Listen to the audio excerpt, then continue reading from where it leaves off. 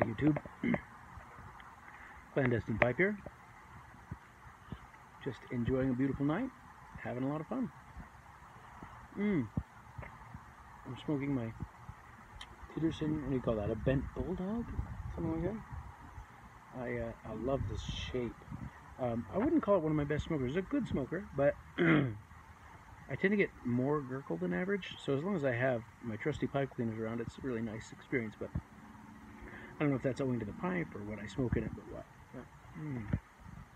And in it, I am smoking a little delicious Star of the East by Cornell and Diehl. Now, what I love about Star of the East by Cornell and Diehl, amongst many other things, there's, it reminds me of an old blend, a bulky that I could get at uh, Edwards. You might still be able to get it at Edwards in Denver, but I don't make, make it down there very often.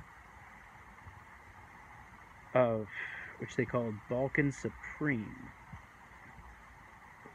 And what it had in common was that it was 50% Latakia, which is a lot, right? That's a lot of Latakia. Mmm, and a tasty lot of Latakia.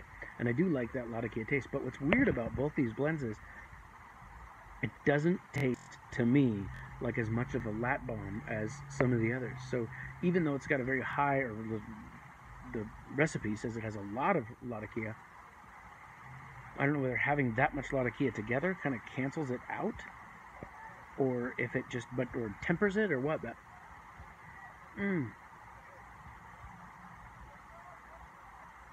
it's smoky and full, like full, full, full flavor. It's cool.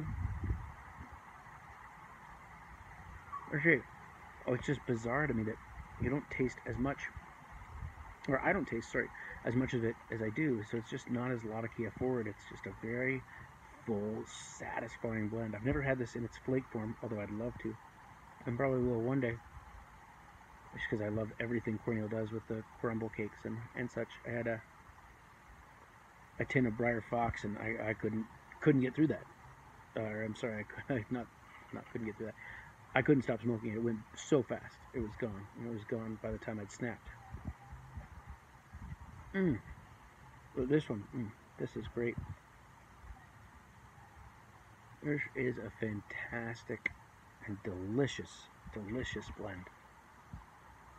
Mmm. Along with Old Tartan. Those two have been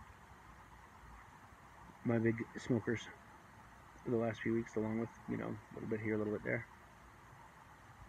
of uh, my classic Prince Albert and the like. Mmm. So full. Someone on Tobacco Reviews years ago about the Balkan Supreme, that other blend, uh, that this feels like to me, said, after a bowl of this, I feel full, like I've just had Thanksgiving dinner. And that's really what it is.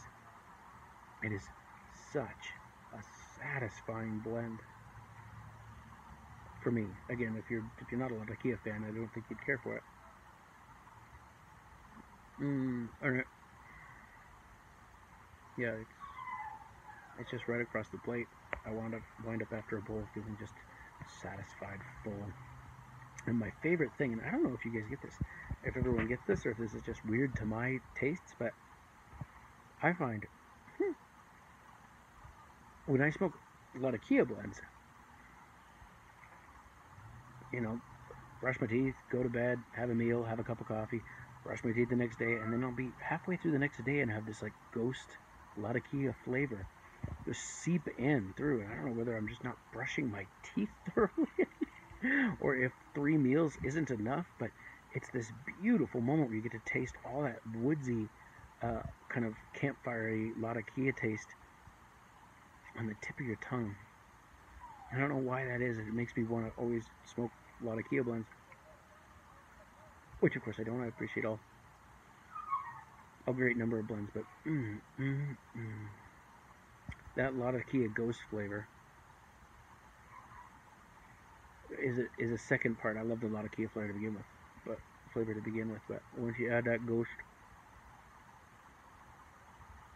that little reminder, like, oh yeah, that's still there.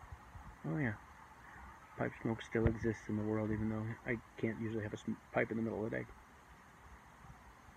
Save for my days off. Mmm. About halfway into this bowl, give or take. I was watching Aristocob, one of Aristocob's videos. I think about it might have been a recent one. Well, maybe not. But anyway, he's talking about pipe smoking tips. And one of the things he said is you probably won't need the tamp as often nor as hard as you might think. And that just busted me.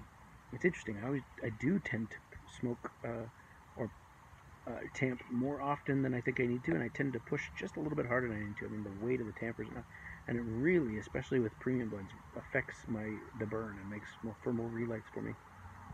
So since I saw that mm, a couple, it was a week, two weeks, whatever it was, I've been trying to tamp less frequently and uh, less heavily. But it gave me an interesting picture or idea or thought huh, that once talked to a cigar smoker and he said why he wouldn't smoke cigars. And he said it was, or pipes, he said it was too fidgety. So are we too fidgety?